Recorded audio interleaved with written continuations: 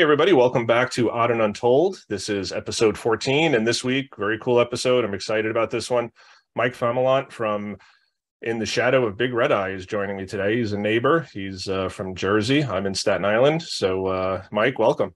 Hey, thanks for having me. Uh, yeah. Thank you so much. It's awesome. Yes, and we are neighbors right down um, the road, actually. Anyways, thanks for having me. I really appreciate it.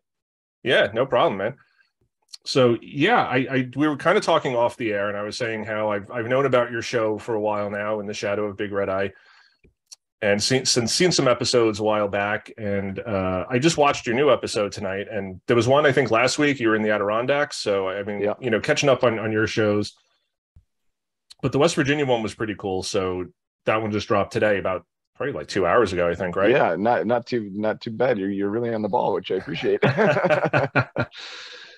yeah so so how, how did um so let's start at the beginning. I just want to know a little bit more about your how you got into this. Uh yeah. I, I love hearing people's experiences. I mean that that's basically what the podcast is about. I do want to talk more about your show but i'd love to know just how you got into bigfoot. I know you had an experience in 2011 so if you could just take us yeah. through that i'd love to hear yeah, so uh, we were we were up in North Florida. I was on a BFRO expedition, and uh, it was my first ever time camping, like ever ever time ever in the woods. Mm-hmm. Uh, I was very indoor growing up, and and that's kind of one of the reasons why I made the show is to is the mission.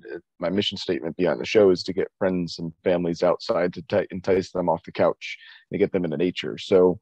Um, I was always always that that uh, opposite uh, inside growing up. Uh, you know, video games, like I said. So this first Bigfoot trip, it was like awesome, and we get there and nothing happens. It was it, there was like sixty other people there. We're in North Florida, and nothing happens. And it was it was really cool though. Uh, a lot of really great people. Uh, met met some really cool people and some really awesome hiking and stuff. But um, it really uh, it, it, was a, a, bummer because nothing happened. So it was the last night, and uh, me and my buddy we were living in Tampa, mm. and uh, we couldn't see the night sky. Um, and uh, I'm accustomed to the night sky being from Northwest New Jersey. We could see it pretty good up here. So in North Florida, you could see the night sky, and I was like, "Oh man, there's a meteor shower tonight. We got to stay up and watch the meteor shower. This is just a given thing."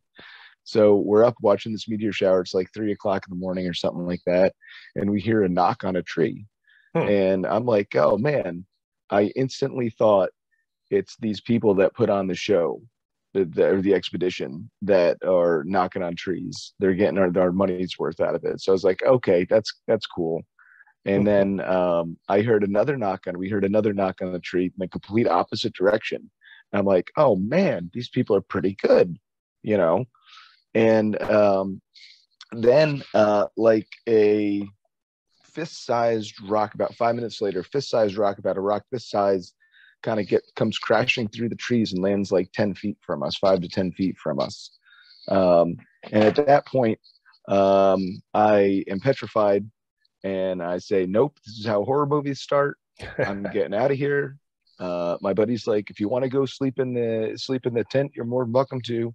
And by the time he could finish that sentence, I had all my tent, my sleeping bag in my arms, and I was just running towards the car. Um, so it took him a little bit, but he convinced me to. He was like, Mike, this is you know, this is what Bigfoot supposedly do. This could be a Bigfoot, you know, Bigfoot activity. Why don't you come out and experience this? This is why we're here. Right. and um, I was finally kind of like convinced. All right, whatever and over the course of the next like five minutes or 15 minutes or so uh, four more of these rocks fist size kind of land in the same general vicinity as the first one. Um, and i'm i'm horrified. And my buddy he's like i'm gonna throw a rock back at it. And i said i don't think that's a good idea you know? And so he throws the rock back at it and I don't know if Nolan Ryan's out in the woods or not, but a, a laptop sized boulder came crashing down through the trees wow. and landed 10 feet from us. So um, that that right there was like the first beginning of like this this has got to be something to this. It was outside of human range. There's no way a person could have done it or thrown that. So um, you know, it's it it it got me really thinking this has to be there. It's got to be something behind all these sightings and encounters and I started looking more into it, and you know that was back in 2011. So 11 years later, here we are. Yeah, and that and that's interesting. You know, as I'm listening to your story, and and I always try to kind of get into the brain of a skeptic and sort of say, well, okay, how can I debunk this? You know, it's, that's mm-hmm. always been my my approach to the paranormal, to Bigfoot, anything is just how do you how do you debunk this? And and as you're telling the story, you know, my my mind's going, and I'm saying, okay, well, you're there with 60 other people, BFRO, and I'll get into that because I I actually looked into going out with them once. Um, and you're saying, okay, you know, small rocks are kind of coming in, and it could just be someone in the woods, you know, messing with sure. you or trying to, you know, ha- have you get your money's worth, as they Absolutely. say, you know. And the yeah. same thing with the tree knocks, you know, is it just these guys just trying to, you know, get you to pay more money for the next expedition? But you get a, a much bigger rock, and you're saying, okay, you know, even a, a large, yeah. strong adult maybe can throw that a foot or two, you know, like right. you're, gonna, you're gonna like well, really struggle and and, you know. and we did the scientific thing and we did like measurements and it was at least because of the geology and the terrain of the of the where we were, it was the closest it could have been was 100 yards whatever that subject was the closest it could have been was 100 yards just to get the trajectory coming through the trees like it had right right so like i said unless you got someone like nolan ryan out there who's just just waiting around for for you know a couple dumb people to come camp and throw rocks at you. I don't know, but yeah, that um, uh, it's it and like I said, it's it's so outside of human range. So I don't know. That was just really cool, and and like I said, it, it put me on this whole whole train of uh, as Bigfoot.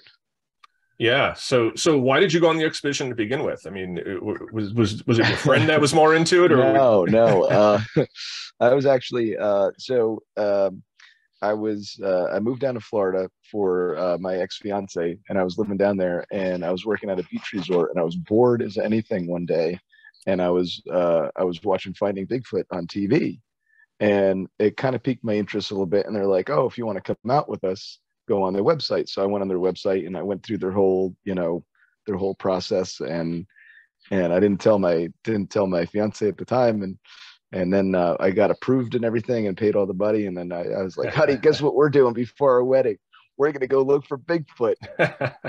and then we broke up before the expedition. So I don't know if oh, it was wow. related to that or not. I don't know. I have no idea. But uh, uh, so um, so then that I, I moved up to Tampa to uh, get a job in the ambulance. I, am an EMT. Right. And um, uh, got a job working for the city uh, on the ambulance, and I picked. I, I swear this is how I did it. I picked my weirdest partner. I said, and it was it was like Jimmy, you you're it. You want to come to North Florida look for Bigfoot? And he's like, uh, I've always wanted to do that actually. So best friends to this day. So wow, awesome. That's how it happened. Yeah, yeah. That's cool. Yeah. I mean, I, I I'd actually looked into the the BFRO expeditions and you know talked to someone on the phone about it and it, you know it, it kind of turned me off because I was really looking for something more intimate and you know like you said you got 60 people out there and right um yeah I mean I, am amazed that you that you actually experience something. It's very it's very difficult to sneak up uh, on something with 60 people in the woods. Yeah yeah and that's but and I'll, I'll, tell you, I think the reason why we did experience something is because we actually camped um, about 50 yards away from everybody else. See, we thought everybody that was there is going to be weird mm-hmm. because they're all looking for Bigfoot. so we were like, we're going to camp a little bit further away from them. So that that led us about 50 yards deeper into the woods, and I think that's what directly led us to have the activity well where nobody else did. Yeah, no, definitely, and that's uh, you know, I've talked about it on the show before, and you know, I think you know the the best way to go Bigfoot hunting sometimes is just to kind of not go Bigfoot hunting. Yeah. You know, just just go camping and, and yeah, like you'd think like, oh, stay with the BFRO guys. You know, they got all the equipment, they got the thermals, they got you know the experienced investigators. Uh, but here you guys go kind of off on your own, um, away from that crowd, and and you're just camping and at that point like you were saying like nothing's happening you're probably expecting nothing to happen and then something happens so that's right um, you know, usually when you hear experiences, it's people who are not looking for Bigfoot. It's, you know, the people who go looking for Bigfoot don't usually find, you know, obviously don't find Bigfoot. yeah. Well, and here's the thing too, is um, to kind of get into the community of Bigfoot a little bit is, is that um, Bigfoot researchers don't report their own sightings. Mhm. So so like I've had a couple of really good vocalizations, but I've not reported them to the BFRO. So that doesn't get on that international database. I have uh, contra, you know, uh, oppositely, I have sightings uh, from Sussex County where I'm at. There's uh, 58 sightings in the county, Mhm. and it's the you know the database that I've compiled myself, um, and that's not on the BFRO database. You know what I mean? So so I, I wish there as a community, I wish there as Bigfoot researchers, we could all share our our our sightings and our information more openly. I think that would help help the field greatly. But unfortunately, there's some uh, some reason why we don't. I don't know why. Yeah, definitely. And and a few shows back, I had my friend Josh on, and uh, he actually asked because he's he's interested in this stuff, but he's not really a researcher in the same way like you and I would be. And he asked the question, like, is there a a main database of like Bigfoot sightings? And you know, we were kind of talking about how there really isn't, and there's this like weird territoriality in, Hmm. and this this goes for like the paranormal community, this goes for the UFO community um, you know, people kind of have their information and they kind of want to keep it secreted to them. And, you know, th- this is my hotspot and that's your hotspot. And I'm not telling anybody else about my hotspot or what I saw. Um, Yeah. So it, it is a- shame that there really isn't just, I mean, the BFRO is probably the biggest one, but there, Sure. there's definitely going to be stuff on there that's not list, you know, you're going to go there and there's going to be stuff that's not on there that people have experienced. Well, and and you know, I was a I was a for a very short period of time. I don't talk about it too often, but uh, I was a researcher with the BFRO, Mhm. um, and I had access to the database, the the uh, the blue book, as they call. It. I think the blue files or something something like that, or the data. I don't forget what they call it, but um, uh, there was so many sightings that were either unreported or uninvestigated, reported but uninvestigated. So, I mean, we're talking hundreds, if not thousands, of reports in the country that have not been investigated yet, Wow. or that have been investigated but are too good to go on the website because of this territory thing. Oh, Because- really? Oh yeah, absolutely. Yeah. You think Cliff? You think like in in Matt Moneymaker's area in in in uh, uh, his original encounter? Do you think that's on exactly where it is listed No, on the BFRO no, not at database? no way. He wants that to himself. Yeah, so it, it is weird that there's that territoriality, and uh, in, in a way, I do understand it. You almost don't want to like say, "Oh, this is where I was," and then you have a bunch of people just rushing to that location, and it becomes Sure. oversaturated. Mhm. Which I, I do feel has happened in certain spots as it is. You know, I, I think they're just, you know, I'm sorry. Go ahead. No, I think it can happen, but I don't think it's like a lot of people think it's like like with my videos. Like I just like you said, I just released a Sutton, West Virginia video. Now that video, we weren't there. That video was done a while ago, and it's just being released now. But I don't expect my followers to rush to Sutton, West Virginia. I mean, it would be super cool if they did because I know there's like a Bigfoot museum there, and those guys would love it. but, but um I don't I don't think um you know say we had a really good class A sighting there I I you know I I don't think people would necessarily rush there to try to see it themselves I think it's more so of uh oh okay we know it's in the area type of thing I right. know I could right. I could be wrong at least in New Jersey maybe because there's not a lot of Bigfoot researchers in New Jersey that's my mindset I don't know Right. Yeah, and and I, I don't know what the reason is, you know, for the territoriality. I, it, it- but it is weird, and it it, it does cross all the communities because, like I said, I I sort of in, initially started in more of like a ghost hunting group, and we did paranormal stuff, and same thing with other groups. Like they wouldn't tell you where they investigated. They wouldn't, Yeah. you know, they they would try to get in good with the owner of a certain place, so like don't let any other groups in right then you'd have the TV shows trying to muscle th- their way in, and um, it, it just it it's funny, you know, but but also frustrating just how little information is shared, and and when good information is out there, that people keep it, you know, close to the Yeah. close to the vest, and they don't want to share it. Well, I think I think Bigfoot research and, and same thing with paranormal research and UFO research and everything. I think it's I think it's uh, a big puzzle piece, a big jigsaw puzzle, and the more pieces that everybody can add to the puzzle, the easier we're going to see what that big picture actually is. And unfortunately, with everybody being so secretive and territorial with their information, it's very difficult to get those puzzle pieces, especially those hard areas that we're really trying to find that information from. You know, those puzzle the, the areas with all the same colors. You know, that really Right. difficult area. um, you know, if people would just share a little bit more of that section, it would be so much easier for all of us, and especially the people outside of the Bigfoot community to look in and be like, oh, wow, these people aren't that crazy. That's cool. Right, because anybody who's doing some real analysis is just has real big gaps in the information because sure. you know there there may be something out there that connects point A and point B, but if no one's sharing that information, that connection's never made, and yeah. that that could be the clue that leads us to something. Uh, so it, it is really frustrating. Um, so so yeah, you know, and I, I appreciate that you kind of say where you where you're at and what you're doing, and and that's yeah, great. Yeah. Um, yeah, for sure. Uh, so so I know you kind of started the show. You you say in your introductions that uh, you know because of you know the other like sort of the TV shows that you wanted to show more of a like a realistic Bigfoot hunting experience. Uh, right, right, and and I wouldn't necessarily call it hunting. I'd say more researching, because uh, we're not out to. I'm not out to you know shoot or injure any of these things. I just like to clarify right. that with because there are people that that are uh, um, do want to injure and kill one of these things. So oh, exactly. I'm not one of those those people. So hunting kind of has that negative, derogatory kind of annotation to it. Um, but anyways, um, yeah. So um, all the the shows on TV, uh, just like, especially when I first got into it, we used to research uh, the ways that we saw um, on TV.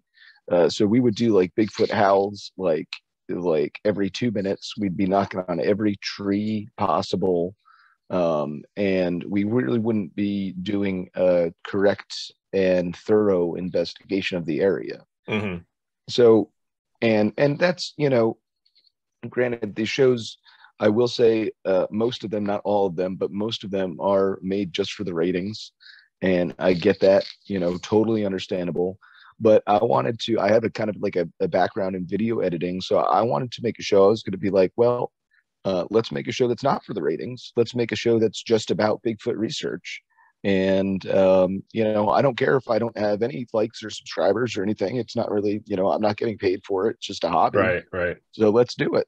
And uh, so far, it seems like the uh, the uh, it's been pretty good. People seem to like the show. Yeah, for sure. And I, I, that's what I like about your show. Um, it, it's just it's a realistic look into what it's like you know, and uh, whenever people hear that I do this, you know, whether it's the ghost hunting or, or Bigfoot research out in the woods, uh, people always, oh, it sounds so exciting. I, I want to come with you one time. And I'm like, it's not what you see on, and they think it's no. what you see on TV. They think it's running yeah. through the woods and what was that? And uh, just all this excitement. And I'm like, you know, ghost hunting yeah. is sitting in an abandoned building for eight hours in the dark. You know, you got to turn the heat off in the winter. You got to turn the AC off in the summer. Yeah. It's uncomfortable. It's dusty. It's it's not fun. And out of those eight hours, maybe you have two or three seconds of something interesting mm-hmm. happening. And sure. more times than not, not even that. Um, and yeah, like you said, the, the, the shows on TV, they're for ratings. They got to get people to tune in every week and, and get that adrenaline going. And they condense an entire night into, you know, 44 minutes. Yeah, yeah, exactly. And you know, a, a, lot of people, a lot of the critics of my show are like, well, um, you you bring uh, cameras and stuff into the woods, and that's not how you that's not how you're going to find a Bigfoot. And I'm like, you're absolutely right. You know, just like you just said. the, the best way to find a Bigfoot is to go to a field and sit with nothing, not even a cell phone, for you know the entire night in a ghillie suit and listen. Right. That's that's how you're going to find Bigfoot and you're going to get vocal you're going to get audio evidence and that's how that's how aside from dna evidence audio evidence is is how we're going to find bigfoot for sure 100% uh, it's not going to be a video it's not going to be you know a, a, a track. We've had really awesome trackways tracks and stuff like that but besides the dna like i said it's going to be audio. Um, so if you can i mean but that really makes like a really piss poor show just sit in the dark for eight hours so it, it does, you know, and, and it's real, it's, you know, it's realistic, but you know, people, I, I feel like most people are going to not have that attention span. They, they want something interesting to happen. Yeah. And, and it's funny, you know, reading the forums online where people defend this stuff and uh, that's what they want. You know, they want a horror movie. They want yeah. entertainment. They don't want reality. They don't want a documentary. They don't want to see what it's really like. They want excitement. They want people running through the woods scared chasing yeah. some unseen thing And when they don't get that, they're they're going to tune out. And you know, Yeah. your your show is cool because it's just very chill. It's just very like you know, this is what we did. And if you didn't find anything, you didn't find anything. And that's but that's reality. You know, you're not going to find something every week. There's not always going to be the the howl or the tree knock or, or a footprint. Most times you go out there, you're going to find nothing because that's reality. and i think duly important it's when we do find something it's the real like it's the real reaction it's like you're not seeing something made up it's like this is holy crap you know even if it wasn't bigfoot related i know recently i've gotten a lot of uh, coyote calls the coyotes up in new jersey have been going crazy lately Oh, wow. so every time that I hear, you know, I'll do a call and I get a coyote back. I always, I always, you know, get that really cool because you know, you're talking to an animal basically. right. Um, and it's so cool, and you see that reaction, and it's the, you know, it's the truth. You know, it's the raw emotion there too. And you know, even when we when we find some Bigfoot stuff, it's the real thing. Um, it's not it's not scripted. It's not um, it's not uh, anything like that. You know, it's me and my cameraman. Sometimes, most of the time, it's just me yeah. but um, another important aspect of the show too is is that I do all the editing for it. So I, for everything from planning the expeditions to marketing the show and funding the show and everything like that. So, so from pre post pre production to post production, everything is done solely by me, and it's a it's a lot of work and it's a lot of time and a lot of effort, but um, it's totally worth it. Um, but I think that's also important for people to know too, because it's not it's not like I don't I don't put music over evidence. You know what I mean? Like some Oh, yeah. shows will. Uh, all, all of all the shows do. you know, like I hate like that's the thing that gets me. It's like you'll never that's never gonna happen in my show.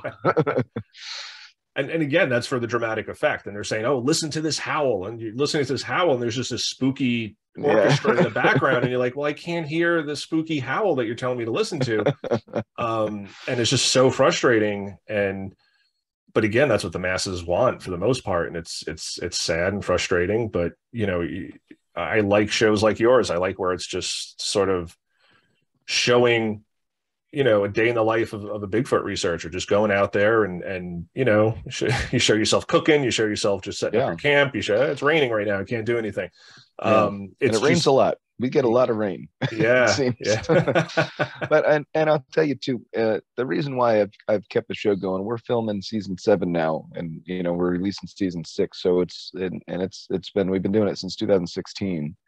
Um, but uh, I think back in in season two or something like that, I got a, a, a uh, an email or something from somebody.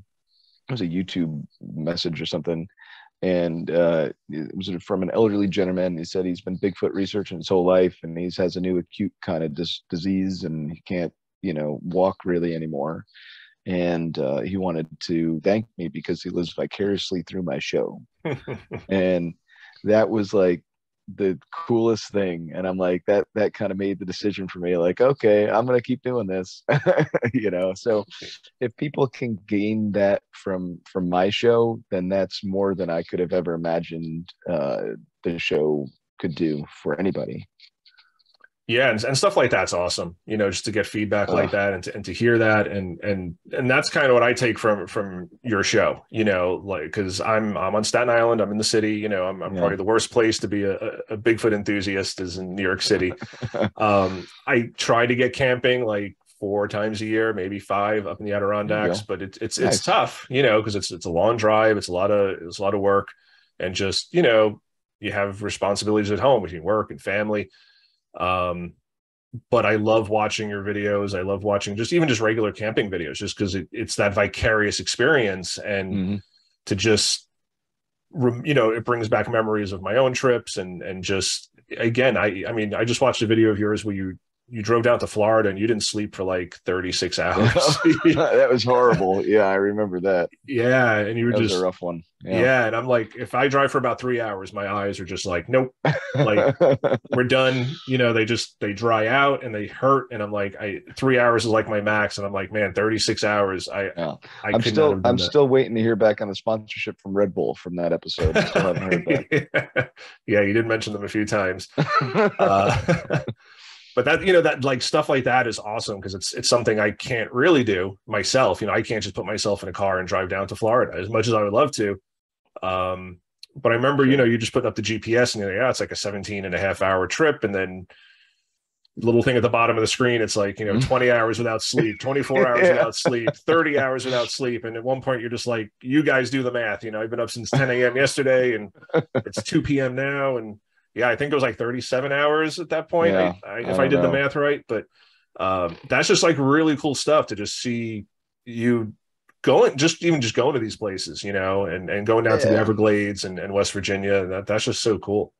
it's the experience and that's that's what i hope everybody gleans from and gains from from the show it's not about bigfooting it's about and and like i kind of touched on before it's about getting outside and it's not you know it, it if you don't bigfoot is is is vi- is not for everybody shockingly enough. Uh some people aren't into searching for an eight foot tall cryptid. Um but uh my my whole thing is if you're not into bigfooting there's a ton of other things that you could do like you could go hiking i think um, i mentioned to you we actually had to move this podcast up an hour because i'm going hiking to see the 9-11 memorial lights tonight Right, right.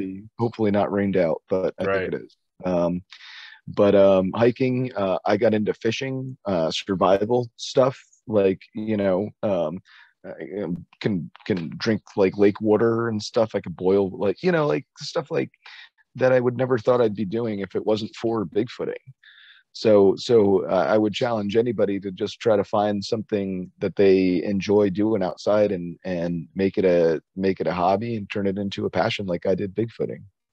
Yeah, I, I definitely wanted to touch on that too, because that's also in your intro about how you just want to kind of show people what's out there. And, and I think, you know, a lot of us have just sort of gotten so comfy being inside and with our devices and, you know, Wi-Fi and it's it's a lot of people just don't go out there and, and yeah, like you said, regardless of what you're looking for out there, uh, you know, because I've been on a lot of camping trips and and my focus is never Bigfoot when I go out. Right. You know, I'm camping and it, it- of course Yeah. it's on my mind. And of course you're sitting around the campfire and you're going to listen to stuff. And if you're down by the water, you're kind of looking in the mud, see, you know, what, what prints are down there. But it's, it's always just to get out there and disconnect. You know, we always kind of go like Yeah. deep backwoods camping, no cell phone service. And it's just to not be on Facebook for three days, to not be on Mhm. Twitter for three days, to not be able to check work emails. You know, it's just, just to watch the sunrise, to watch the sunset, to just hear the loons uh, Yeah. it's so like for me anyway it's just such a like a recharge just to like reset my batteries and just see that like nature is so gorgeous and we just never see it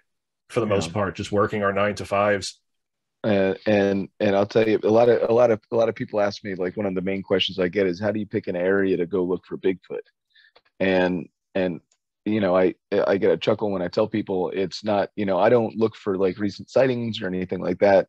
I look for I go on because I have Verizon, I have Mhm. Verizon cell phone, so I go on Verizon's coverage map and I look to where kind of I really want to go or where a vague area of where I want to go, and I see where it doesn't have service, and I pick the closest state park, and that's where we go. nice So, it's uh, the, the less service the better for me and it's uh, it's exactly the same reason it's because you get to disconnect from uh from nature or from, from you get to connect to nature and disconnect from everybody else. Right. Um it's a shame i haven't been able to do that in a long time because of filming my show. I don't i can't tell you the last time that i've been in the woods um not bigfooting you know? As you said you don't normally go bigfooting. I have not been not bigfooting in quite some time. Um so it'd be nice i think uh i think it's in the cards this year just to get out and do a non bigfoot kind of vacation area do something like that yeah for sure and that's probably when you'll encounter something that's exactly and, when, you won't have yeah, your when I don't have a camera That's good. Yeah. Yeah. I'll come out to like a, a state park on Long Island or something where I don't have any chance of seeing a Bigfoot. yeah yeah um so have you have you because again you have a, an extensive extensive catalog like you said you've been doing this since 2016 uh have you ever experienced i know you, you mentioned you had some vocalizations have you had any other experiences anything that you you kind of felt was like this might be actually bigfoot Yeah, we were um, up in uh, up in the Adirondacks, like you were just saying, up in uh, Lake George in the Whitehall in Whitehall, New York. Mhm. Um, we go up there. We try to go up there every year. We're actually going to be up there um, in a couple of weeks. Uh, there's a big uh, Bigfoot uh, festival up there. oh yeah yeah um so we'll be up there for that um but we're up there and we we like to go to this one area and we've we've always gotten some it's always like it's creepy so we know it's like kind of a cool area. So we always go back there. Mhm. And um, uh, we were there, and we split up into teams, and it's all it's on my YouTube channel. Anybody could take a look at it. But we were surrounded by Bigfoot for sure. Like within 20 yards, there was like multiple. I'd say like three Bigfoot surrounding my team, and uh, they were you could hear them like uh, like the the footfalls and the, the stomping. You could hear uh, rocks getting thrown and hitting trees right next to the team Wow. um, and it was it was a pretty legitimate close encounter. It went on for like six minutes, um, and then everything stopped when he got the thermal into him. So, but we went back there the next day, and uh, there were tree breaks across the path that weren't there the day before, and we're talking legit trees. I mean, we're not you know like like bigger than you know a person could do, and they're fresh Right. live trees so it's uh, outside of human human range to do that but uh, that was probably the closest that i've ever been to a bigfoot i think wow, that's crazy. Um, yeah You said there was like three of them. I think there had to be at least three because they, there was three different directions that, that the the things were coming from Wow. yeah. So how, how how much credence do you kind of put into like your gut feeling? Because you just mentioned like it had like a, a creepy feeling. Um, Oh, and, and I always try to pay attention to stuff like that. Yeah, uh, another video on my YouTube channel actually is um, I was going. Uh, uh, so, okay, so I'm okay hiking at night during the day by myself with people. I'm very comfortable, especially on this one trail that I've been on a million times. Right, I could hike this trail blindfolded. It's in a squatchy area, Mhm. and it's it's close to my house, but um, it's this really cool trail. So I was hiking it one night. I got dropped off, and uh, I was going to hike to the other side of it, like three miles, and I got a mile into it, and I hit a brick wall, and it's something stopped me, and I couldn't go. I just I I physically I could walk further, but I could not walk any further. And I was looking around, and I saw a tree break, which is something that Bigfoot are supposedly can do. Um, that that I didn't think was there like a couple of weeks prior because I walk the trail all the time Mhm. uh, and I've never noticed it. Um, but it was so the feeling was so intense. I actually had to call my ride back, and I hiked back out the other way because I couldn't finish the hike. Wow. Yeah, and I don't know what it was. I I've never experienced it again. Some people they would they would chalk that up to infrasound. So what they say that Bigfoot could do is, is kind Right. of like this this low guttural growling sound that uh, humans, as us as humans, we can't hear, um, but other animals, other large animals, do are capable of it. So um, I don't know if that was it or not, but I would it whatever whatever if, if it was infrasound and Bigfoot didn't want me in the area, it totally worked. yeah, that's that's wild. And uh, similar thing happened to me once. Um, but like I said, I always try to, you know, a lot of people would scoff at it, and you know, you're just scaring yourself. But uh, there there was a place we went to, and it was probably one of the safest places we ever camped up in the Adirondacks. You know, it was car camping to pull right up to the site. You got our car right Mhm. there. You know, we had we had shotguns with us, and just the entire time, I just felt like really uneasy. Like I just didn't want to, you know, and I love being up there. I love, I mean, that's like my, my happy place is going to the Adirondacks and camping and just, you know, and people don't get it because it's like, there's no bathrooms and you're sleeping on the ground and there's bugs. And I'm like, that's my heaven now. Yeah. And this one place just the entire night, I could not get comfortable. I just, um, it was really weird. And again, I, I, you know, I'm not saying it was Bigfoot. Uh, you know, maybe there was a bear in the area, maybe there was a mountain lion or something. Uh, who knows, you know, but I, I always try to put credence into that. And I was talking to somebody a few months ago who had an, a similar encounter with his his girlfriend in Colorado with a, a grizzly bear, and uh, he kind of felt it before they saw or heard anything. You know, it was just they Yeah. kind of wandered into an area, and on all of a sudden, he said it just his mood changed, and his he was just like he went into like fight or flight mode and he was like i Hmm. got to get out of here and he turned to his girlfriend and said if anything happens you got to run i'll take care of it and she was like what are you even talking about you know but he had Wow. felt yeah. and then yeah later on they had seen a, a grizzly bear but he said it Oh, was like that's 10 wild. 15 minutes before they saw any any sign of a grizzly Hmm. um so it, it's always interesting to me when people have those like gut instinct feelings of like Yeah. this is not a cool area. I got to go. And and yeah, like yours to just freeze you. You know, for me, I just kind of felt like a little uneasy, but for you to kind of like hit that wall and say, I'm heading out of here. Yeah. That's re- that's really fascinating to me. and like I said, you know, I think the, the the thing that made me the most nervous was not not the fact that it could have been a Bigfoot or it could have been even somebody out there. The fact that I have been so for I'm so familiar with this trail and that happened. That's what's freaked me out the most was like, okay, that something's really got to be messed up here. And I'm not trying to figure out what it is right now. Yeah, it's not even just like a new place that you went to that's just kind of spooky, and you're like, Like, "Yeah, I. I yeah, could chalk it up if it was somewhere brand new at night that I've never been. You know, okay, Yeah. that could be a little creepy. I get that, but this, like I said, blindfolded, I could do this trail. yeah, it's like being spooked in your own backyard. Like it Yeah. shouldn't it shouldn't make Shouldn't sense. happen. Shouldn't happen. Right. uh, so where's your favorite place to research? I know you, Mm. you've done a lot of Jersey stuff, a lot of Florida stuff. Yeah. Um. Well, I I, I do like um going down to the Pine Barrens because Mhm. it's beautiful down there. The Pine Barrens in New Jersey. Um. I really like Florida. I I'd go down there every every year. I used to live down there, so it's kind of like my second. Well, is my second home down there. Yeah, yeah. Um, uh, research wise, I like going up to Whitehall because that that area, the general uh, Whitehall uh, area, seems to be really good when it comes to just evidence collection. There's a lot of cool stuff. They're very vocal up that way. Hmm.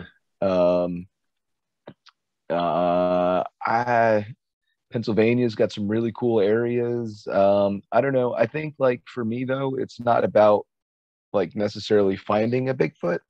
I think uh, for me, it's mostly like about the area and the people and and the sites and stuff. I'm I'm a real big like I like seeing like beautiful sights. So I know like Kentucky, like when I went to the Red River Gorge, like that Mhm. was gorgeous. Like that's that's something phenomenal. Up in the Adirondacks and the high peaks. I mean, come on. You, you know you know what I mean? oh, I know. it's just it's places like that that aren't necessarily Bigfooty, but um, I mean the Adirondack certainly is, but um, uh, and so is Red River Gorge and every everything like that. But um, it, it doesn't necessarily have to be the most Bigfoot area to be my favorite. But uh, I do like the Smoky Mountains as well. They're just like the Adirondacks and they're breathtaking beauty. Yeah, yeah. Oh, that's nice. And yeah, you know, you mentioned something earlier about how you find sites and like you don't necessarily look for like where was the most recent sighting or where were the most uh, populous sightings. Uh, I, I kind of, I've always personally felt that's kind of a wild goose chase, you know, because someone saw Mhm. something there a year ago. Why would this thing still be there necessarily? Like, I understand the thought process behind it, but at the same time, uh, these things are so elusive. They're so rarely seen as it is. So I understand. I understand if there's a lot of activity. You know, you're talking about Whitehall, and you know, Mhm. there's the famous sighting from up there, and uh, if there's a, sort of this recurring activity, I get that. But to sort of, you know, unless you're kind of following up and in, investigating a specific sighting, but if you're if you're Right, out there looking for something, Yeah. I think it's kind of, for me personally, I think if a Bigfoot encountered somebody at X Y Z spot, that Bigfoot's probably going to avoid that spot for a while because now it's like, crap, there's people here. I'm not going to go back there for a while. Or if I I, do, I'm going to be much more Hmm. cautious. I I would tend not to agree with that. Uh, so I think um, Bigfoot, I believe, and this is just my personal thought process, and and and I'll tell you why in a second. Is uh, I think Bigfoot are nomadic, Mhm. which would mean uh, by process of elimination they would go back to the same spot more than once.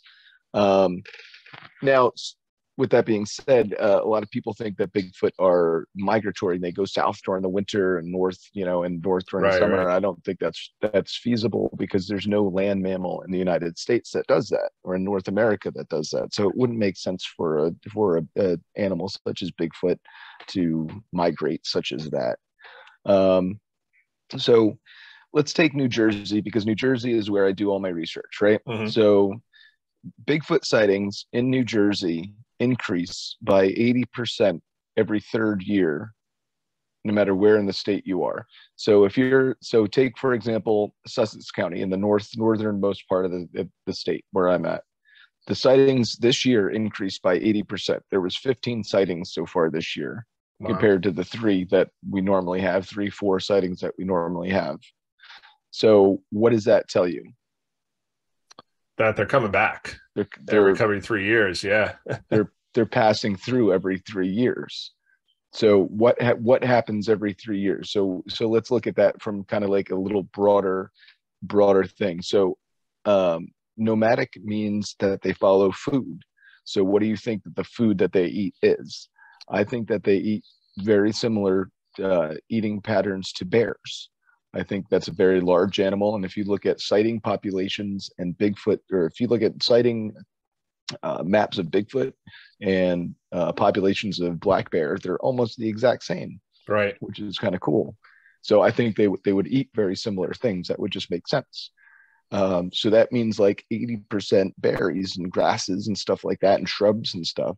So what's cool and kind of what what uh, icing on the cake to the theory is if you take a berry bush and you kind of strip it 100%, right? hmm It takes three years for it to grow back berries. Oh, interesting. So I think that kind of puts credence on the three-year cycle theory. And if, if uh, you follow the patterns around the state, I can tell you in a year and a half from now, you're going to be down in the Pine Barrens. If you want to go camping down in the Pine Barrens, we're going to have a 50% chance higher uh, seeing them than if you were any other place in the state.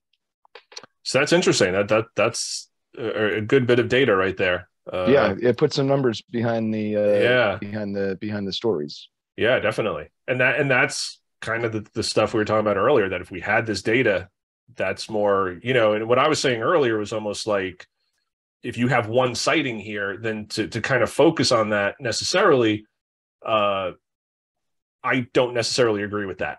You know, I I understand the reasoning, Yeah, but for me, it's almost like well, ex, you know, expand because if it Yeah. was there, then look at be- where else it could where be. else could could it be? But yeah, if Right. if you are seeing these patterns, if you're seeing Mhm. and that's an interesting point you bring up and and that's good research and legwork on your part you know that that's awesome that you're noticing this and i didn't know that about the berries that's really interesting so yeah if they're Mhm. following these prey populations whether it's deer or fish or whatever it is and and you can kind of see these patterns then it's more interesting to sort of say okay well yeah maybe we should camp this area because it's now the third year again you know they and and I would challenge anybody in their area to try to find similar patterns like that. It's a great idea to start at the um, at the berries and and the three year cycle, but it could be something completely different. That just that's New Jersey and what I've found. right Uh, I have all the sightings in Sussex County uh, on a database that anybody could look at, and uh, I I would you know say to anybody go and look try to find patterns in that. Fi- you know Mhm. prove prove my theory wrong. I would love to be proved wrong. I think that's cool. Um, but uh, that could happen anywhere in in the country you know um, and bigfoots they don't necessarily depending on the location they don't necessarily need to be nomadic. They could stay where they are year round if they have enough food source. Right. So so that's totally something that you could think about too is is um you know when you're looking for these areas to look at to look for bigfoot sightings you know um granted you also need uh to have a bigfoot sighting you need two things. You need a bigfoot and a person. Right. And um i know granted most of the sightings take place in the in the wilderness and, and whatnot. Um i know for me and you kind of mentioned it before is what you go i go like backcountry camping. I don't go in a campground with other people. I think that defeats the purpose of a camping and b looking for bigfoot. Um so i go where there's no toilets and there's no facilities and there's you know you literally there's there's maybe maybe a picnic table if you're lucky. Right. Um, and we have to unfortunately we have to go to drive-in locations because of the show uh, just to keep everything charged and stuff like oh, that. of course. But um, we try to find the most desolate one to to get to and and and pick it that way. Cool, cool. And and I like your distinction between nomadic versus migratory. I because I Yeah. think a lot of people talk about them being migratory, and and I tend to agree with you on that one. That nomadic is a is a better it suits it better it it's suits it better. i think i think bigfoots are ancient humans and that's what we did as ancient humans we were hunter gatherers and we kind of moved around where the food was Right. so uh, it would just make sense um, that it would follow that pattern Right. And I'm sure you're aware of this. We talked about this on the show before, but there's certain characteristics to certain Bigfoot in certain geographic areas. So uh, a Bigfoot in the Pacific Northwest is going to be built Sure. much differently than like a skunk ape in Florida, which is you know smaller and slimmer and and you know quicker moving versus something up in the Pacific Northwest or versus something up up here, you know, up up in the Northeast. I love that you brought that up. Um, it's actually one of my favorite things to discuss is a skunk ape and Florida because you know I love doing research in Florida and everybody Right, right. says, um, "Oh, you're looking for like a cousin of the Bigfoot." Uh, it's a you know the skunk ape because he's smaller and he's you know he smells funny and whatever. and it's not. It's it's it, contrary to popular belief. I think they're the same species. I think they're just a smaller version of a Bigfoot, um, Right. and that could be explained easily by Bergmann's rule which is the theory that animals in warmer climates don't have to eat as much in the summer to sustain themselves through winter because they could just eat all year long. Right. Where animals in colder climates have to eat and grow as much as they can during the summer so that they can sustain throughout the winter. So it would make sense if you look at like deer, deer population, or even bear population in New Jersey. Up here, you have a 300 pound black bear, and we wouldn't bat an eye at it. Where you have a 300 pound black bear in Florida, and it's like you got to call the presses because you know there's That's a something monster going on down here. there. Yeah. Yeah, but I think it's the same exact thing with Bigfoot. I think it's very easily explained that way. Yeah, and and that's always been interesting to me too. Is that when people report these things, you know, because again, skeptics are going to say, "Oh, it's in the it's in the popular culture, it's in the zeitgeist," you know. So someone down in Arkansas seeing a Bigfoot, it's just because they've seen it on TV. But people in Arkansas, people in Florida, people down south don't report the Patterson Gimlin Bigfoot. They don't report the Mhm. Harry and the Hendersons Bigfoot. They're reporting something very different. It's it's a hairy humanoid, but it's skinnier. It's Yeah. uh, more agile, um, a little shorter. Like you said, not as bulky. They don't need to bulk up for the winter. It's it's a warmer climate. It's a different terrain. Like they don't need Yeah. the big muscular legs to climb up mountains. It's not you know it's it's all flatlands and swamps, and so they're built a little differently. And that again to me doesn't prove their existence, but it's it's just one more sort of little piece of the puzzle where it says, okay, these people are not reporting seeing Patty. You know, they're Mhm. they're seeing something, but they're saying no, this thing was orange in color and it was it looked more like a like like an orangutan or a chimpanzee. It was very skinny and lithe, and Yeah, uh, that to me is just a fascinating little piece of evidence that often gets overlooked. Um, but I'm, I'm can glad. we can we go back to uh, New Jersey real quick? Back yeah, absolutely. Yeah. So so there's a three year cycle, right? hmm and I, we'll get into it just a little bit more because I think it's it's just that interesting. Is because of sightings that people report, I can tell. So there's uh, nine individuals. Now this is going to sound crazy, but there's nine individual Bigfoot in New Jersey. hmm There's two two family groups. One is a family group of five, and the other is a family group of four. Uh, the the family group of five comes before like a month before the other the second family group and has like black hair where the second family group comes about a month later that's who's moving through sussex county right now and they have reddish color hair Hmm. isn't that neat Yeah, yeah.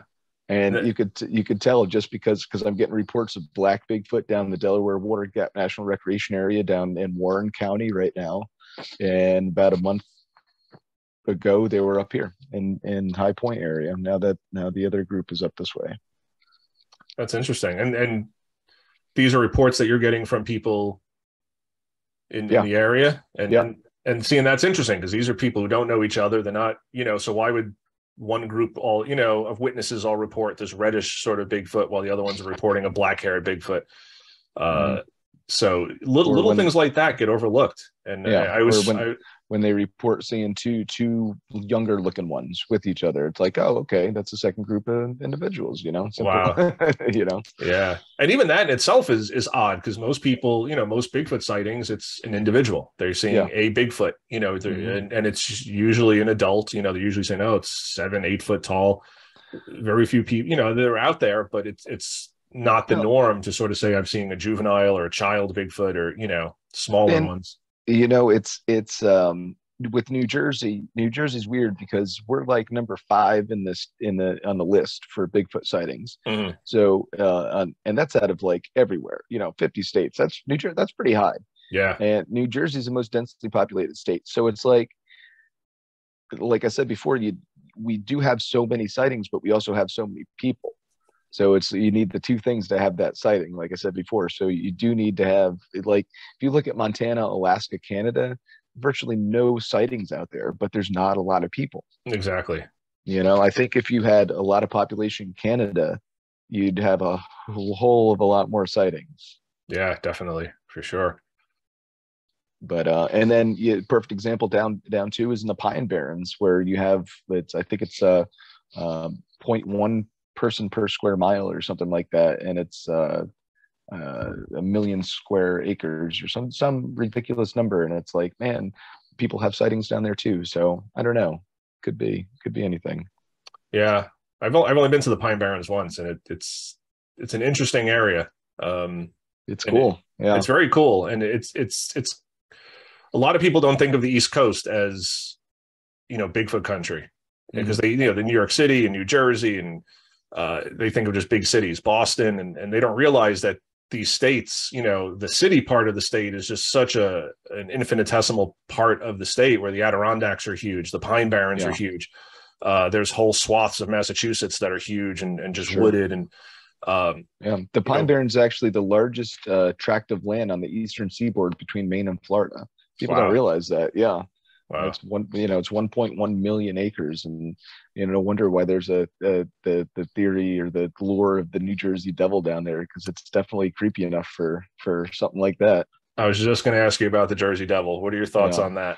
well, I think you know, I think, uh, and I'm, I tread lightly where I say this uh, because uh, I actually got a death threat about it one time. But for me, if it walks like a goose and talks like a goose, it's probably a goose, right? So I think the Jersey Devil is, uh, let's look at the description of it. It's six to seven foot tall, has glowing red eyes, and screams bloody murder at night. I think that sounds like a Bigfoot. And yeah. I could be wrong, you know, but uh, I think the the the lure and the fable behind this the the Jersey Devil is really cool. The thirteenth child of Mother Leeds, and mm-hmm. it killed the mother and grew bat wings and flew up through the through the thing. Um, fun fact for you: in 1909, the Philadelphia actually offered a ten thousand dollar reward for the Jersey Devil for cap- oh excuse me capture of a Jersey Devil. Right. So somebody, I guess the laws were a little lax back then, but they they got a kangaroo and they glued like wings to it Mm-hmm. and they tried to turn it in, but then the zoo is just like, wait a minute, we know what a kangaroo is. it's just a kangaroo. Right. So if, if you ever want to go down there, you and me, the offer is still valid. It's still it's still yeah. We should, we, should, we should go find it. All right, you tell me when. Give me a date and a yeah. time, and I'll be there. Sure, man.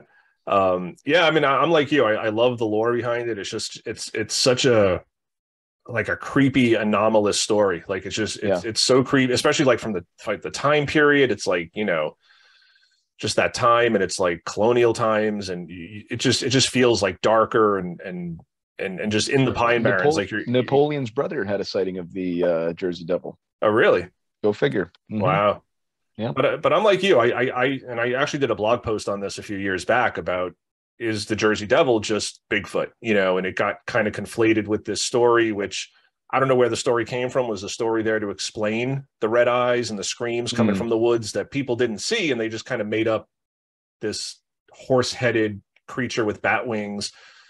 Uh, you know, and it was that just sort of a fable to sort of explain or a myth to explain yeah the unexplainable in the woods because they weren't seeing Bigfoot, but they were maybe hearing it or seeing the red eyes. No, oh, that's the Jersey Devil, and that's where it came from. And and it's something well, and far I, less fantastical. I know I'm going to be getting, you know, I'll, I'll, get some some some flashback from this too. But if you look up what a uh, sandhill crane looks like and mm-hmm. look up what they sound like, um, I think that's a very, very plausible culprit for the Jersey Devil, especially in that time frame where they didn't have computers, they didn't know what anything was, and that bird is totally not supposed to be up in this area. Exactly. So I think one of them totally could have flew up this way, kind of lost a little bit, and and was up there for a year or two and just go and, and making everybody go crazy. I don't know. That's and again, I'm going to get some some flack for that, but that's, that's all right.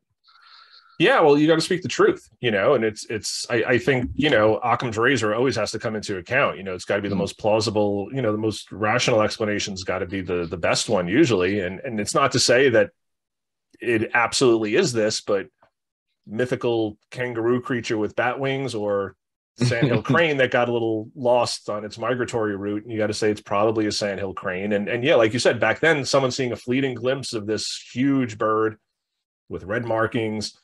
And yeah. there's no Wikipedia, there's no Google image search where they can go and say, "Hey, what what did I see? Let, let me go check this out."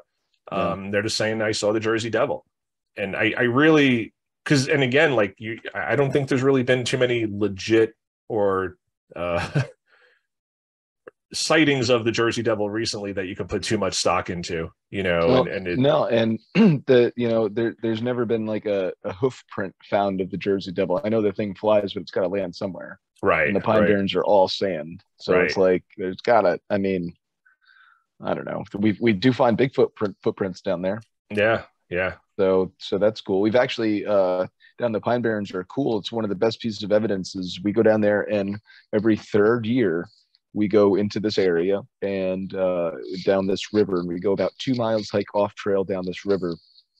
And uh, we find footprints. And one year they were like really small like five inch footprints. And then mm-hmm. three years later they were a little bit bigger. They were like nine inch footprints. And then the next year they were like or the third year they were like 12 inch footprints. So they grew every uh, third year which is really neat. And that's why i think that they maintain family groups and they stay in family groups. And i think that's that's um, again uh, kind of confirms my theory of every third year. Yeah and that's and, and that's I, I really admire that you do that. It's, it's like the longitudinal research where it's not just let's go camp in this place and oh, okay we didn't find anything. Let's just never go back.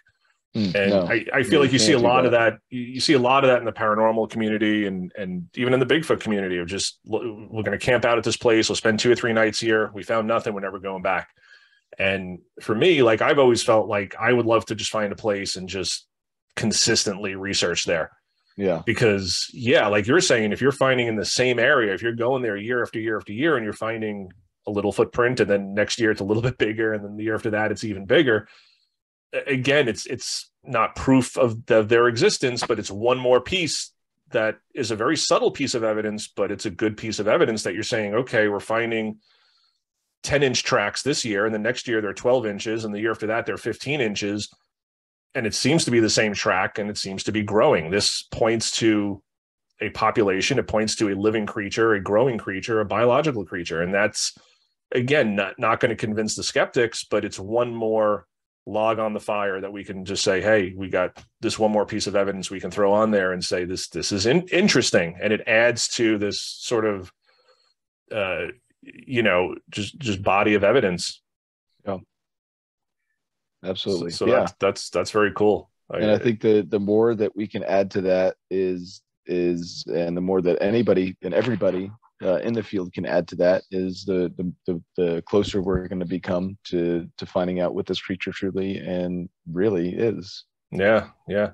Do you guys work with any other groups? Do you, do you like collaborate or uh, is it yeah. hard to find No, um, so I do everything. We we have like a small uh, small group about uh, 25, 30 people that uh, are my research group that I have go out with me uh, mm-hmm. that I invite out to my expeditions and help me film and stuff like that. Um, uh, they're from all over the country, and generally speaking, we only go out with like four or five people, if at the most. Um, but uh, no, we we do everything kind of solo. Uh, you know, we we are open to to meeting and talking to anybody, and and you know are are very open with uh, analyzing anybody's evidence if they want to send it our way or or anything like that. We're we're more than happy to to take a look at it. That's awesome. That's awesome. I'd love to go down with you to the Pine Barrens at some point. So next time you go, keep me in mind, open, man. open, open invitation. Absolutely. Awesome, man. Thank you. Um, so before we wrap up, do you have any links? I, I, know you mentioned your database earlier. Do you have do you have a link for that you want to share with everybody so they can check that out? Yeah, well, that's that's one of those long Google links. So uh, okay. you have to um, if you go on the Facebook. So the link to that one is Facebook, and then you search for Sussex County Bigfoot NJ, and then okay. the link is right on top of that page. Okay. Uh, if you want to find us on on our show's Facebook, it's in the shadow of Big Red Eye. And then our YouTube is uh, the same as uh, In the Shadow of Big Red Eye or Sussex County Bigfoot is our channel. And uh, let's see, our uh, Instagram, you can go on Instagram, see some really behind the cool. That's how we actually connected. Uh, exactly. some behind the behind the scenes cool stuff. I think Jason can attest to that. Oh, definitely. Um, is Shadow of Red Eye. Awesome. And I'll, I'll put links below in uh, with all the podcasts and the YouTube channel here so everybody can find them. Uh, but yeah, Mike, thank you so much, man. This was a great conversation. And I want to have you on again because I, I think we got to dig a little deeper on certain things. And hey, absolutely. Run out of time here. I want you to get on your hike, but uh, oh, definitely yeah, want to talk yeah. to you again. And, and yeah, let's go find the Jersey Devil and split that 10 grand. okay, sounds great. All right, man. Thanks so much for coming on. Take care. See you. Take care. Have a good night, man. Okay, everybody, thank you for watching. Uh, thanks, Mike Familant, for coming on the show in the shadow of Big Red Eye. Uh, really cool conversation. I learned a few things, and uh, Mike's got a really interesting point of view. I'm always open to different points of view, uh, even if I don't agree. And in this case, I changed my mind a little bit. Mike convinced me. So props to Mike for that. Uh, if you guys have any comments, leave them below. I'm going to leave all the links for Mike's uh, Facebook and his Instagram and his YouTube channel below. Check out his videos, really cool stuff. He's got really quick videos, you know, four, three, four, five minutes of just vocalizations. He's got hour long videos of expeditions that he's done, uh, you know, six years of this stuff. So check him out. Great stuff. Uh, thanks for watching, everybody. We'll see you next week.